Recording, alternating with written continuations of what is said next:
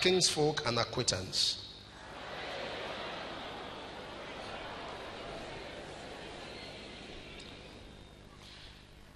And it came to pass that after three days they found him in the temple, sitting in the midst of the doctors, both hearing them and asking them questions.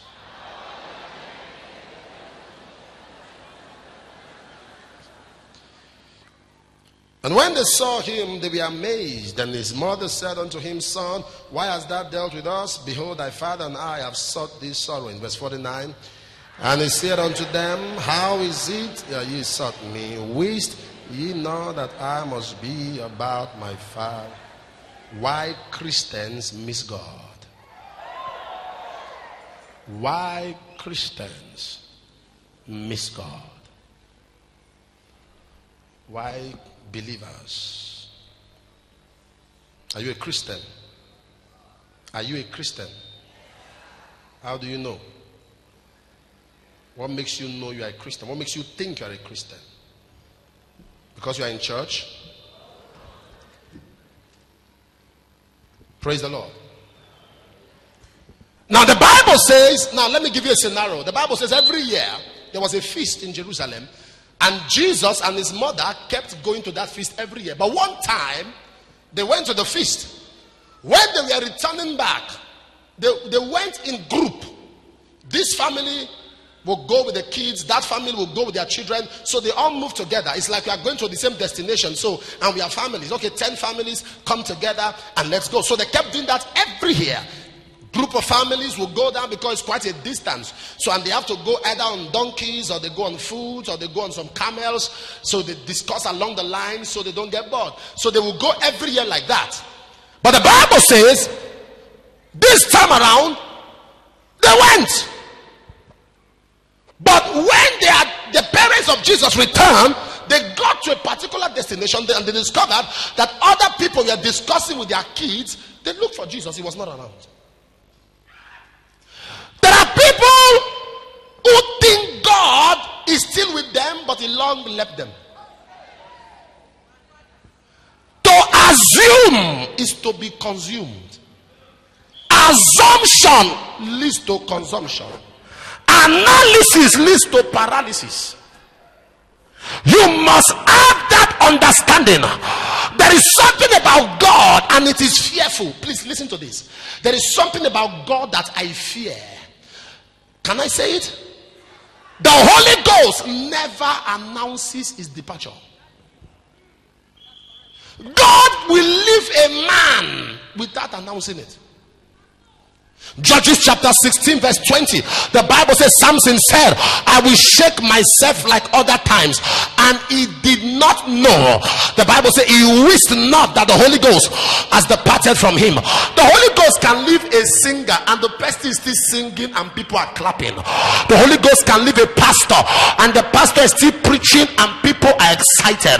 The Holy Ghost can leave a businessman, and he's still seeing profit. He thinks God is with him. A wise man said, sometimes uh, the footsteps of God that we hear is not God around us, but God walking away from us. There are people who have lost the spirit, some have lost the anointing, some have lost grace uh, by little carelessness. They still assume that they are Christian, they still believe that they are Christian. But I'm here today to tell you that if God has left you, or if you have left God, there is going to be a reconnection. I said there's going to be a reconnection. There will be a reconnection.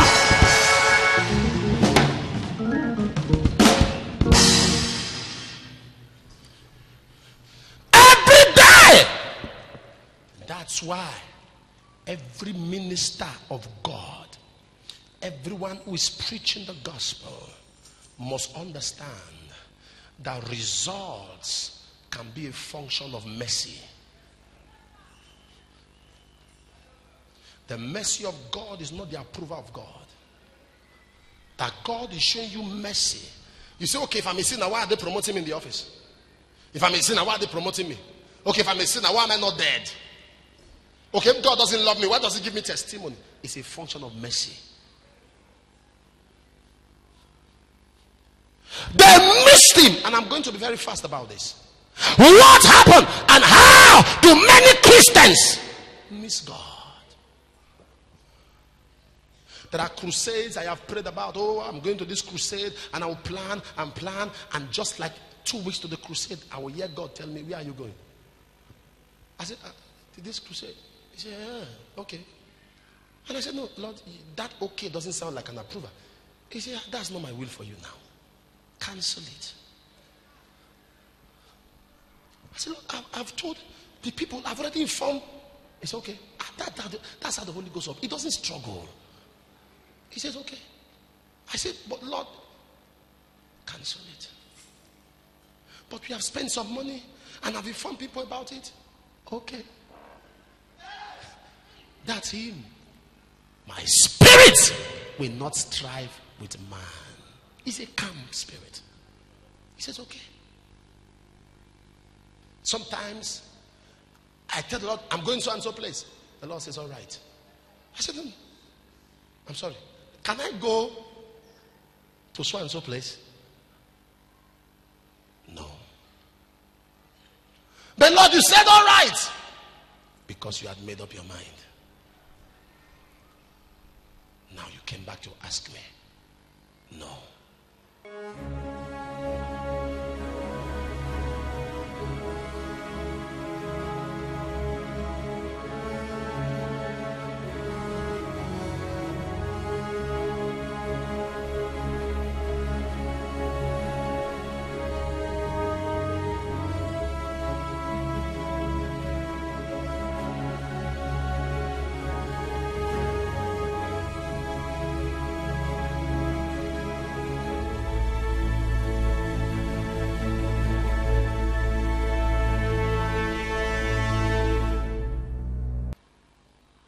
I was praying for a madman one time in the north.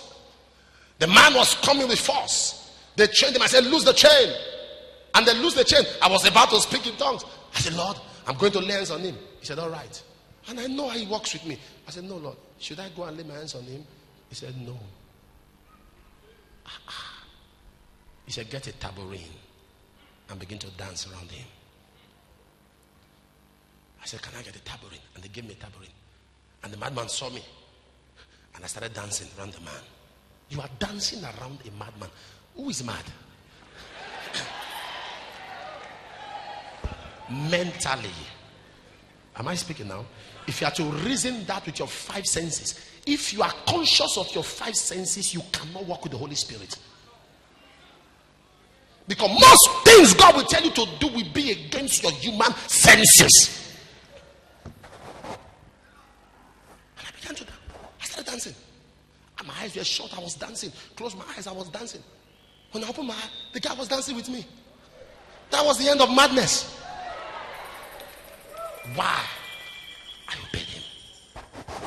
What I came to release upon you is a close relationship with the Holy Ghost. I said, What I came to release upon you is a close relationship with the Holy Ghost. As you stay in your house, you will hear God.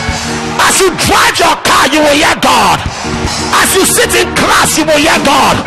As you sit in your shop, you will hear God. Amen. As you walk on the street, you will hear God. Amen. God will open your ears. Amen. I said, power will open your ears. Amen. The Holy Ghost will speak to you. I say, He will speak to you. I said, He will speak to you. You don't serve a dead God. A mighty God. He's the same yesterday. He's the same today. He's the same forever. When God says yes, no man can say no. When God lifts you up, no man can bring you down. God is on your side. Power is on your side. Glory is on your side. With the one shot fire. Yeah, yeah, yeah.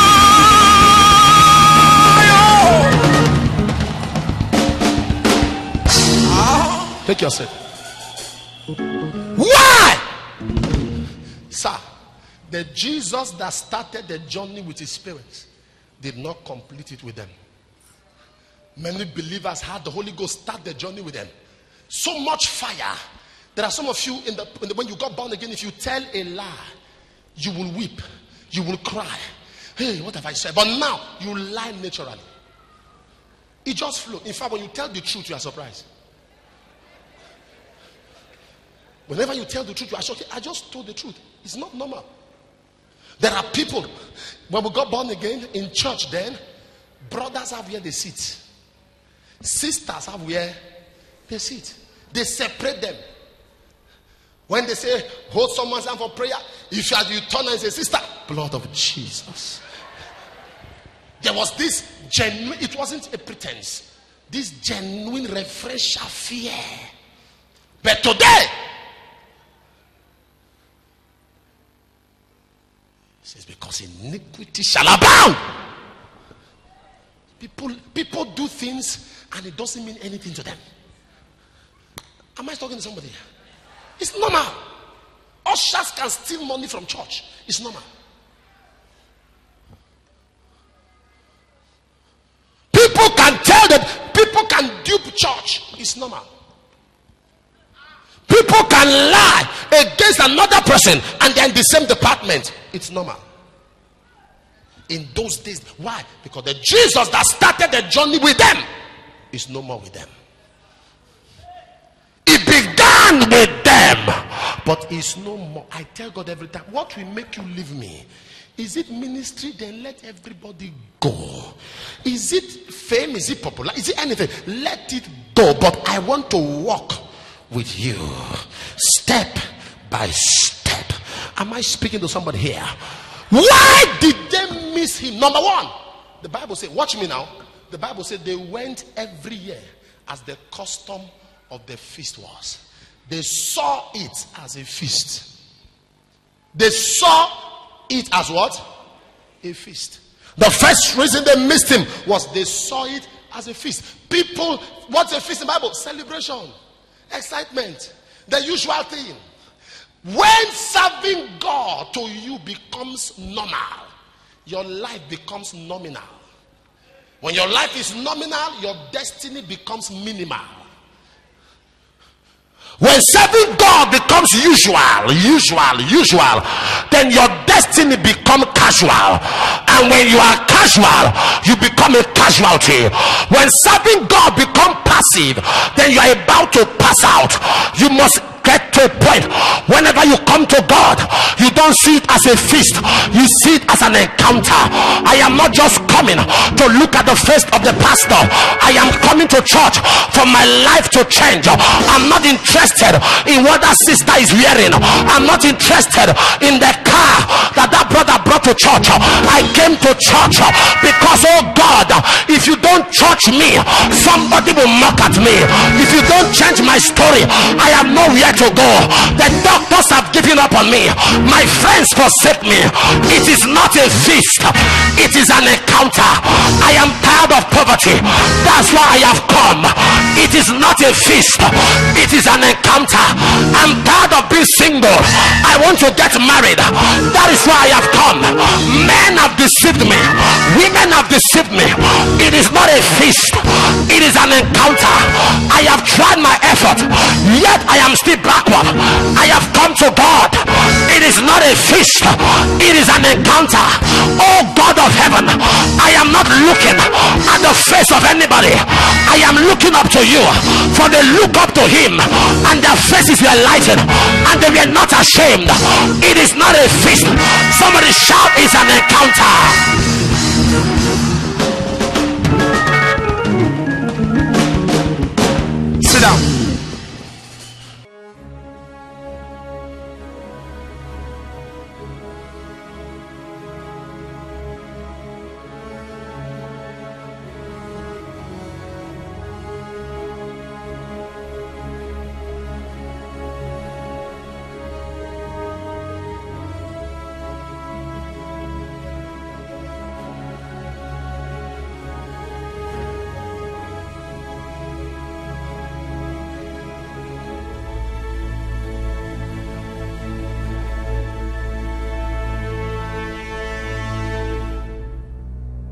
Is a group of people I avoid in church. I avoid them. I dread them. Hello? I avoid them. I dread them. You know the kind of group? Can I tell you? The group of people that become familiar. There are people, if you are talking, they won't write. That's that they are shaking their head. Mm. Mm. Run from such people. As you are talking, mm, correct, correct. They are co preachers. When man of God is even praying, they don't say amen. They just close their eyes like that. The man say in Jesus' name, they say, Jesus'. There's no childlike, baby like heart. And I told you, familiarity brings familiar spirit. They, they saw it as a regular event, as a normal feast. A lot of people have missed God because when they come to church, they see it normal. Why there are some other people right here, they are sitting, their heart is boiling. God, today is today. If you don't touch me, I will touch you. That was the woman with the issue of blood. He said, he, He's passing here. He said, If he doesn't touch me, I will touch him. There were a lot of people in the time of Jesus who were waiting for Jesus to touch them. But the woman said, If I can touch the hem of his garment, I shall be made. Enough is enough. Some people came to show their clothes, some came to show their car, but I came to touch him. Holy Ghost, if you don't touch me, I will touch you. If you don't call me, I will call you. If you don't reach me, I will reach you. It is not a feast, it is an encounter. Let me tell five people you need an encounter.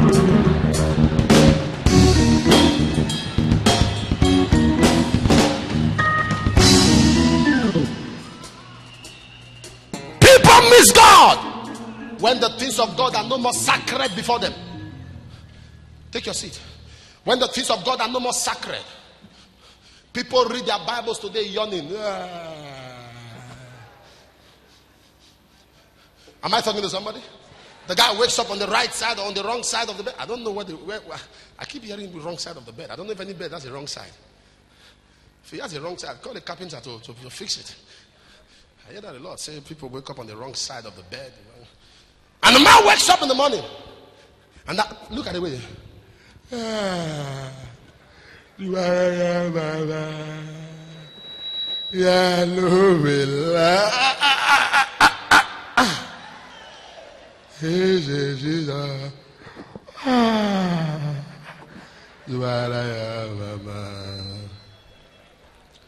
Yeah, no,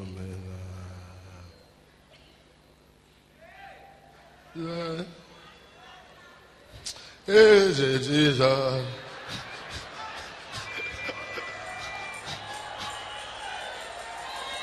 And there are people after they have prayed in tongues. That's how they open their Bible. Who will God speak to among these two persons? No, I ask you, you have two kids. One of them is stretching. Another is attentive. Who will you give instruction? The guy that is yawning you may tell him to buy spoon he will go and buy shovel. What am i trying to say? Anytime you come to god's house let there be a level of expectancy don't come like you have come before. Don't hear God like you have had him before. Don't study like you have studied before. Pray like it's the first and the last time. Fast like it's the first and the last time. It is not a feast. It is.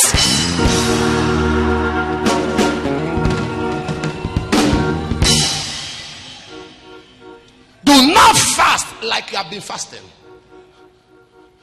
What one thing that made Samson's destiny wasted was casuality. Samson commanded power literally, naturally. It was around him. So Samson's life was business as usual. Don't forget, if you are normal, you'll be nominal. If you are nominal, you'll be what? Minimal. You are usual, you be casual. You are casual, you be a casualty. You are passive, you will pass out. And guess what happened? Samson will finish uprooting gates of cities and jump on a prostitute. Power was still there. It will. It, it, I, I'm talking to you. There are people who now sit down in church with malice in their heart. They live with it.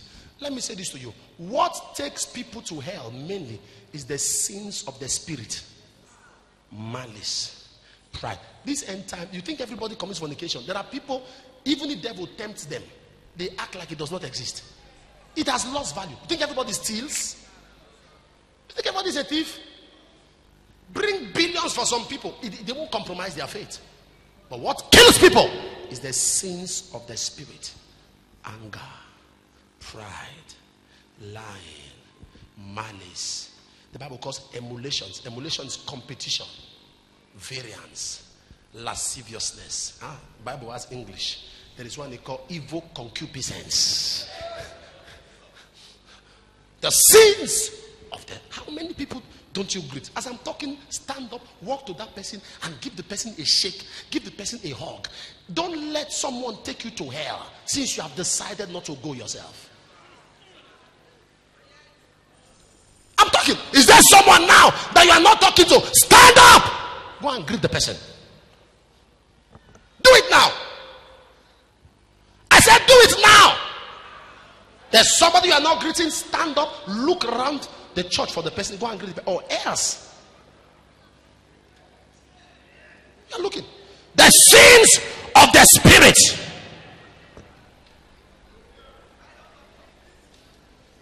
Who are you? Who are you? I won't talk to him again. Who are you? What arrogance, what pride, what bravado. I won't talk to you again. I will never greet you. Who are you? You are like a vapor that appeared and disappeared. You are like a moist, a little flower just sprouting up. Who are you? That have become so mesmerizingly arrogant and pomp- pompotically proud.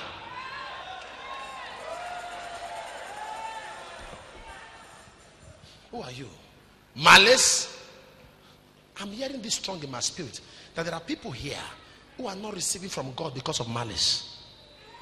I'm hearing it now. Malice. There is nobody in my life I don't talk to. There's nobody I don't talk to. There's nobody I don't talk to. There's nobody. Some of you say things that you're not supposed to say when you're angry. You hurt people. You say statements. In life, it's not everything that comes to your heart that you say. Listen, don't forget. In this life, what we have in our mouth is blood, but what we spit out is saliva.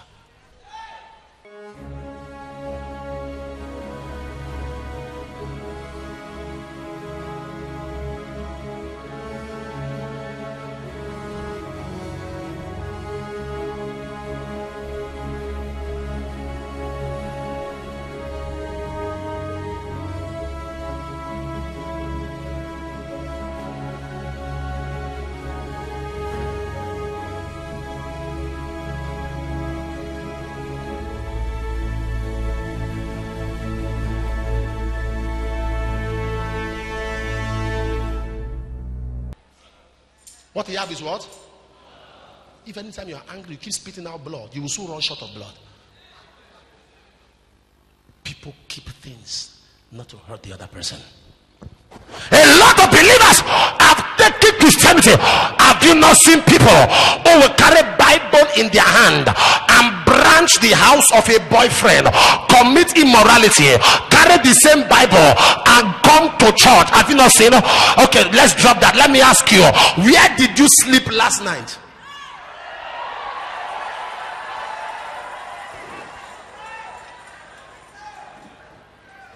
There are people who are internet fraudsters. They call them Yahoo boys.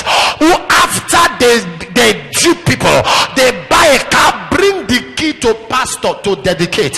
You see young ladies uh, who carry pregnancy and their printing wedding card. The girl is already pregnant and wants to stand on the altar. Am I talking to somebody here? There was a marriage like that that was to take place here. The person was already pregnant. I think some weeks old. I said, I'm not joining them. I walked away. Marriage day, wedding day. My elders were begging. I said, case is closed.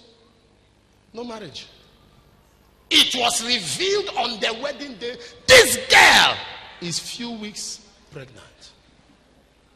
Wedding, and it was she was getting married to a pastor. I asked the Pastor, how did she become pregnant? He said, I don't know. I said, This must be the visitation of the Almighty. For her to be pregnant without your knowledge. And my elders, for more than two hours, everywhere was scattered. Me, I was in the office having a good time. Scriptures cannot be broken. I said, I will wear that on one condition take off that white and put on brown. And she had, they had to look for brown from anywhere. And when I came out, my mouth indirectly said some things. Some of those who are at that wedding can understand what I said. I said, I'm not supposed to be standing here, but thank God she's wearing brown. I said, This will be an example. I'm telling you. I've been to a wedding before. As I got there, God said to me, The girl is four days pregnant. I turned, entered my car and went to go and rest.